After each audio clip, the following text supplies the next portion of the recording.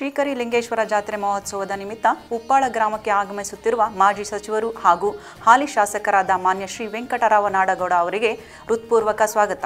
ಸ್ವಾಗತ ಕೋರುವವರು ಮುದುಕಪ್ಪ ಕೋರಿ ದಡೆಸುಗೂರು ತಾಲೂಕು ಪಂಚಾಯಿತಿ ಅಭ್ಯರ್ಥಿ, ನಾಡಿನ ಸಮಸ್ತ ಜನತೆಗೆ ದೀಪಾವಳಿ ಹಬ್ಬದ ಹಾಗೂ ಕನ್ನಡ ರಾಜ್ಯೋತ್ಸವದ ಹಾರ್ದಿಕ ಶುಭಾಶಯಗಳು.